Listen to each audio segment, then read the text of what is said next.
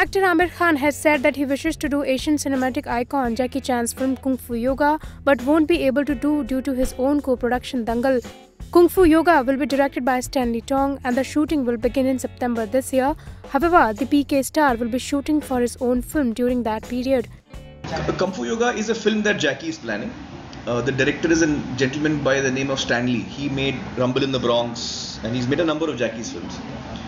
Uh, uh, that film, it's not possible for me to do. Because they're shooting it this year. I would have liked to do it, but वो लोग उस film को सितंबर अक्टूबर में shoot कर रहे हैं इस साल में। और मैं तो दंगल। मैं दंगल कर रहा हूँ।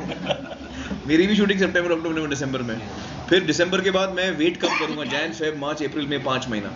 फिर जून में मैं दंगल की शूटिंग कंप्लीट करूँगा जो यंगर पोर्शन है।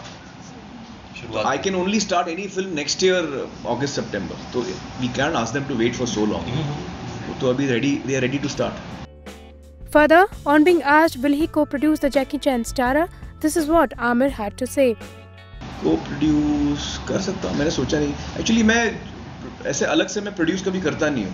अच्छा। Uh, जो मैं करता था मैंने अभी बंद कर दिया। अभी एक कर रहा हूँ मैं actually Meanwhile, Amir is just back from China, where his film PK was premiered. Apart from that, an Indo-China treaty was also signed to make way for creative sharing of movies and scripts. Sangeeta Tomar, IANS.